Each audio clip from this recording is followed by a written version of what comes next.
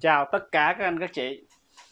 Chúng ta tiếp tục quay lại với chủ đề hấp dẫn mà được nhiều người ủng hộ nhất. Đó là chủ đề tình yêu.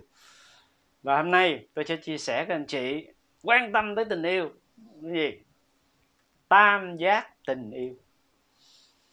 Thế tam giác tình yêu cũng do một nhà tâm lý học ở nước ngoài họ nghiên cứu mấy chục ngàn cặp đã yêu nhau đã sống với nhau đã chia tay đã ly hôn đã tái hôn. Và ông ta mới đưa ra một cái công thức. Và tôi đọc qua cái công thức này à, tôi đã chia sẻ rất nhiều anh chị trong những cái lớp tôi đi tập huấn ở trên mọi miền đất nước. Thì mọi người thử áp dụng cái công thức này với cái cuộc hôn nhân của mình với chồng của mình với vợ của mình với người yêu của mình. Nhiều người thấy à, đúng thầy như vậy tam giác tình yêu nó gồm có cái gì? Cái tam giác thì nó có ờ, ba cạnh đúng không? Và cái góc thứ nhất trong tình yêu nó gọi cái loại tình yêu tình yêu đam mê. Nghĩa là sao? Tức là cái kiểu tình yêu đam mê này là hai người họ rất đam mê nhau. Và đặc biệt khi họ đến với nhau cái đam mê về xác thịt. À, đã yêu rồi đúng không? Trong tình yêu thì không thể nào thiếu tình dục. Mà khi nói đam mê đây là cái kiểu mà hai người họ đam mê họ đam mê xác thịt nhau. Và luôn luôn gặp nhau thích đụng đụng cả cả thích hôn nhau. À, chứ không phải ngồi xa nhìn mỉm mỉm cười đâu. À, đây gọi là tình yêu đam mê. Và không biết cái tuổi mà thanh thiếu niên á ở cái tuổi dậy thì thì các em nó, nó chính xác là cái điểm này nó rất là mạnh. Cái góc thứ hai của tình yêu cái loại tình yêu thứ hai. Nó gọi là tình yêu thân mật. Thân mật là sao? Thân mật đó là hai người khi mà đến với nhau, hai người yêu nhau, hai người lập gia đình với nhau. Bất cứ chuyện lớn, chuyện nhỏ, chuyện trên trời, dưới đất, chuyện bà tám gì, họ cũng đều thích chia sẻ cùng với nhau chúng ta hay nói là hai người bạn rất là thân mật. Nhưng mà trong cái tiểu tình yêu này, họ vừa là yêu mà họ vừa giống là tình yêu với nhau, tình nhân nhưng mà họ giống như là hai người bạn tri kỷ.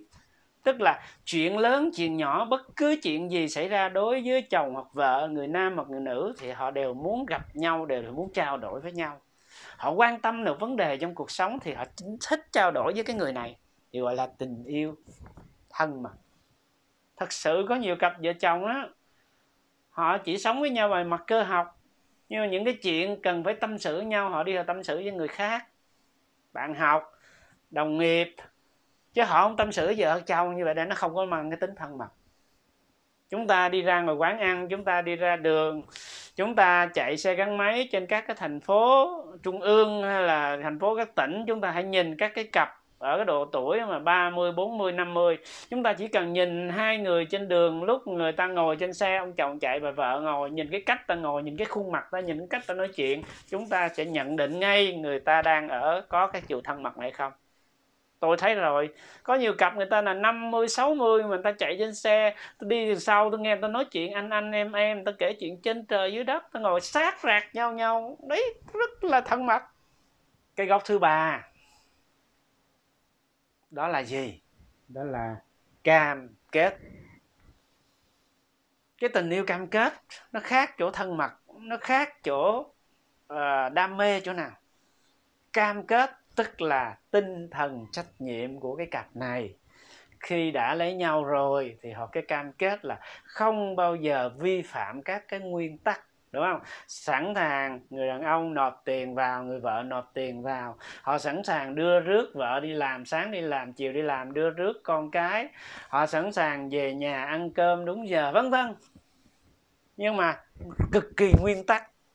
Tôi tin chắc có một số gia đình, một số anh chị thấy có ông chồng và bà vợ như vậy. Nhưng mà không có thân mật.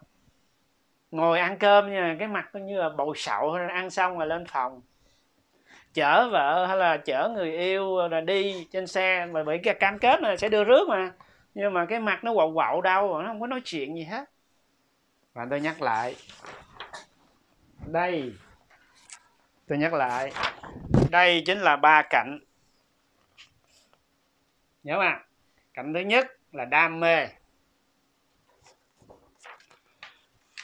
Thứ hai là thân mật và thứ ba là cam kết, thì đây là tam giác tình yêu. Vậy đây nó đã là có ba kiểu rồi, đúng không? Ba kiểu rồi. Tại sao nó còn có chữ là đam mê? Thì bây giờ chúng ta phải phân lại nè. Lấy cái ba cái này chúng ta cộng lại, chúng ta phân chia ra, chúng ta sẽ thấy. Vậy cái kiểu thứ nhất, nếu mà hoàn toàn đam mê thì nó gọi là gì? Tình yêu cuồng dại. Nghĩa là sao? Chúng ta biết rồi những cái cặp mà mới yêu nhau những cái em mà uh, mới dậy thì mới có tình yêu. À, thậm chí một ông 50 tuổi chưa bao giờ yêu gặp một cô 30 tuổi hai người gần xuyên thì nó gọi là cuồng dại về xác thịt. À thì đây là một loại loại tình yêu thứ hai nó là thân mật. Thì nó gọi là tình yêu này tình yêu thích. Sao mà thân mật thì gọi là thích vậy? Bởi vì không có nhu cầu về tình dục không có đam mê thể xác. Nhưng mà hai người chỉ thích gặp nhau nói chuyện thôi. Chúng ta hay nói là bạn tri kỷ không? Đó là bạn tri kỷ. Tức là ai mà gặp một cái ông chồng và vợ chỉ là cái kiểu này thì chỉ là nơi tâm sự thôi. Không có chuyện ấy. Không có xác thịt và cũng chả có cam kết. Thế là loại thứ hai tình yêu thích. Loại thứ ba là cái tình yêu nó chỉ có một cái yếu tố duy nhất là yếu tố cam kết thôi. Không có xác thịt cũng không có thân mật. Thì nó gọi là tình yêu trống rỗng. Thường nó dạy ở trường hợp nào anh chị biết không? Những cái cặp mà đã sồn sồn rồi, hơi gần già rồi, ế rồi đó. Lúc đó là mai mối. Đúng không? mai mối sao? Để cho nó hoàn thành cái trách nhiệm với bên vợ, bên nội, bên ngoại. Đúng không? Vẫn sống chung nhưng mà không có đam mê về thể xác, nó cũng không có chuyện gì để thân mật để trao đổi hết. Nhưng mà chỉ hoàn thành hết nhiệm nên gọi là tình yêu trống rỗng. Hiện nay, chúng ta đã thấy có một số các cái trường hợp, nó rơi trường hợp này là những cái em trong cái nhóm là LGBT L là LED nghĩa là đồng tình luyến ái nữ. G là chữ G, tức là gay á, gọi là đồng tình luyến ái nam thí dụ như các em đồng tình luyến ái nữ này là gia đình á, ở dưới quê chỉ có một đứa con gái duy nhất. Lúc ở nhà thì con gái nhiều khi đi học làm sinh viên cái lúc đó là thể hiện ra là một cái người led đồng tình luyến ái nữ đúng không? Nhưng mà gia đình á, thì muốn cô này lấy chồng nhưng mà cô này là đồng tình luyến ái nữ chỉ thích nữ không thích nam. Mỗi lần là mấy cái cô này cô sợ nhất là dịp nào không? Nghỉ về nhà ăn tết về nhà dỗ quẩy, gặp gặp bà con hàng xóm rồi. Lúc này sao chưa lấy chồng con tới tuổi? Thì cô này cũng sợ lắm. Thứ hai gặp ông ông gay, tức là đồng tình luyến ái nam. Nghĩa là sao? Như vậy đồng tình luyến ái nam là đàn ông là con trai mà chỉ thích gì? Quan hệ tình dục con trai, có cảm xúc con trai.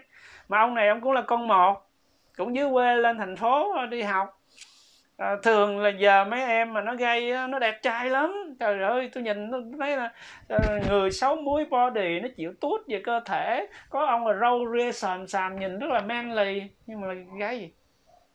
Chúng ta gây gây có nhiều ông là gây lộ. Tức là ở ngoài muốn, muốn chửi rủa muốn nói gì kệ. Ông sống đúng rồi ông. Loại thứ hai là gây mà gây kín.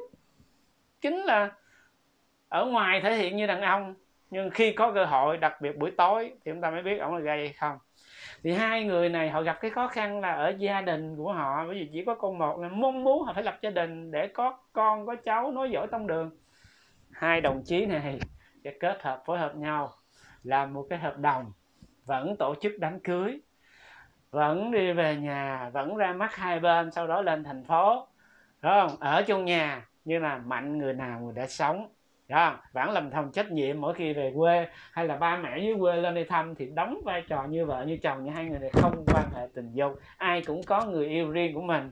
Ông gay thì ông có người yêu là người nam. À, bạn là nữ là lát bạn có người yêu là người nữ. Và cũng dẫn tới nhà hai bên cam kết với nhau là không ai được kiện cáo ai không ai được xía vào chuyện của ai. Chừng nào gặp nhà bên ngoại à, bên nội bên ngoại về quê dưới đó lên thì lúc đó sẽ đóng cái vai. Đó là cam kết, nhưng mà trống rỗng, không có xác thịt chả có thân mật có nhiều cặp là không phải gay hay lét, mà nam, nữ, cứng hoàn toàn, vẫn rơi vào trường hợp là chỉ có trách nhiệm, không có xác thịt, không có thân mật thì gọi là tình yêu trống rỗng. Và một số cặp mà ở tuổi trung niên, hoặc là số cặp ở tuổi về già, người ta cũng rất dễ rơi vào trường hợp này tức là lúc đó chỉ trách nhiệm với con với cháu, với nội với ngoại. Nhưng là hai cái khía cạnh về thân mật mất đi, khía cạnh về thể xác cũng mất đi, cũng rất là dễ xảy ra. Đây là loại tình yêu thứ ba. Bây giờ chúng ta coi cái loại tình yêu thứ tư. Bây giờ nó phối hợp hai yếu tố của tam giác nó mới hấp dẫn đây nè. Tình yêu lãng mạn. tình yêu lãng mạn nghĩa là sao? Đam mê, yếu tố đam mê cộng với thân mật thì nó ra tình yêu lãng mạn. Chúng ta hồi nãy nói rồi, đam mê đây là luôn luôn tiếp cận, tiếp xúc về mặt thể xác. Ngoài thể xác lại luôn luôn thích nói chuyện với nhau, luôn luôn thích chuyện trò với nhau. Trời ơi, quá lãng mạn thôi.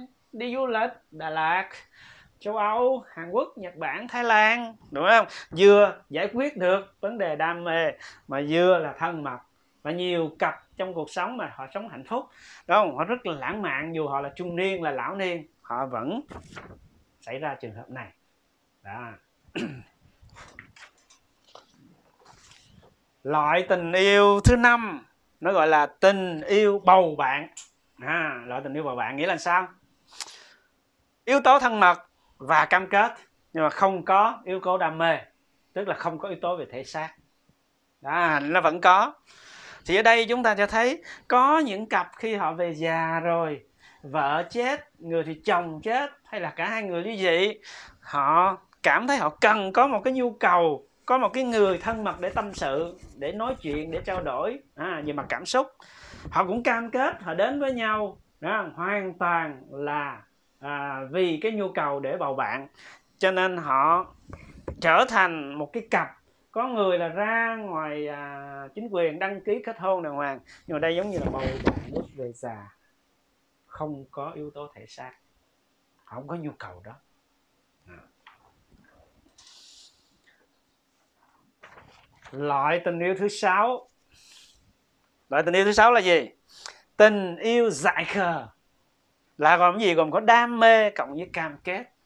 Nghe nói tình yêu dạy khờ thì chúng ta thấy cái loại tình yêu thường nó xảy ra lúc nào? Lúc cái tuổi dậy thì lúc cái tuổi đang học à, trung học phổ thông đang học đại học. Thì thường thường lại mới gặp mà tuổi rất là đam mê.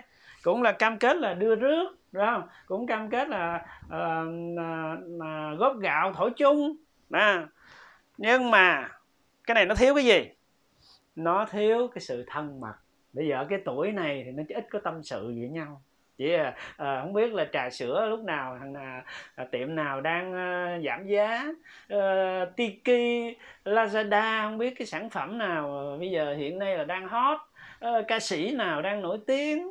Nhóm à, hàn quốc nào phim hàn quốc nào vân vân tức là ở đây nó thường là cái giai đoạn đầu của cái tình yêu của các cái tuổi thanh thiếu niên nó gọi là tình yêu dại khờ. Thì chỉ có đam mê cam kết nhưng mà không có tâm sự.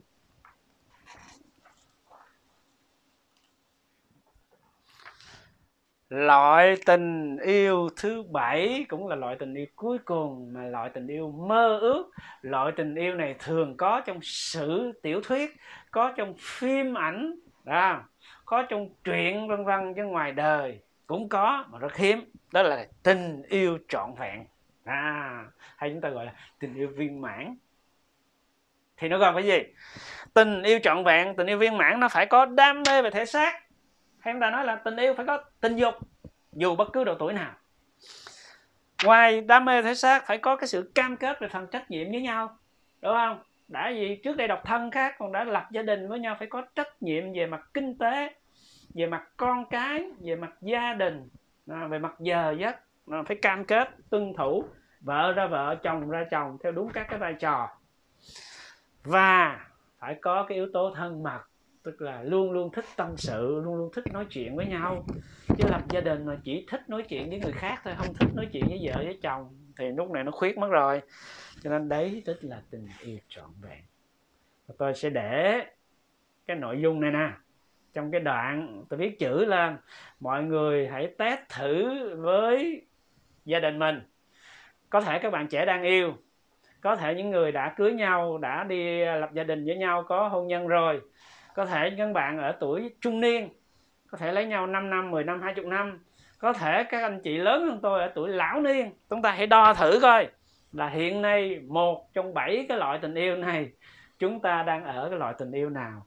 Anh chị tự đo, anh chị tự biết, cũng không cần phải báo cho ai biết đâu. Hai vợ chồng tự biết với nhau được rồi. Và ai mà cũng mong muốn chúng ta đạt được cái loại tình yêu trọn vẹn này thì quá tuyệt vời. Những cái lớp tập huấn khoảng 30 đến 40 người ở toàn quốc mà tôi đi đi tập huấn thì tôi chia sẻ này á, thì hỏi thử thì con số mà đạt được cái này nè, nó khoảng chừng 15 đến 20 phần trăm thôi. Mà con số đó cũng chưa chắc họ nói thật bởi vì nó trước nhiều người. Còn chỉ bản thân anh chị anh chị so anh chị so sánh anh chị áp vào thực tế anh chị để anh chị biết mà. Anh chị cũng không cần nổ với ai không cần phải sợ ai đánh giá để mình biết mình nên cỡ nào. Và chắc chắn anh chị cũng nói ủa vậy vậy ông hải ông ở cỡ nào? Bí mật bí mật. Một cái dịp nào đó khác đúng không tôi sẽ tâm sự cái chuyện của tôi riêng. Khi con số mà à, tôi hứa đó nha cái kênh à, đời rất tuyệt của tôi khi mà nó đạt được con số là 10.000 người đăng ký hiện nay gần 3.000 rồi thì tôi sẽ có một clip riêng tâm sự diễn chia sẻ về cuộc đời của ông Hải từ lúc sinh ra đến năm 50 tuổi. Nó trải qua những cái gì? Lúc đó bật mí hết. À, bật mí hết. Không có gì phải sợ hết. Nếu anh chị thấy video tam giác tình yêu hấp dẫn hay phù hợp đừng ngần ngại, đừng tiếc gì với tôi hết. Đăng ký kênh, đời rất tuyệt like, bình luận, chia sẻ. Chúng ta sẽ có những cái clip sau, hấp dẫn hơn clip trước. Xin chào và hẹn gặp lại.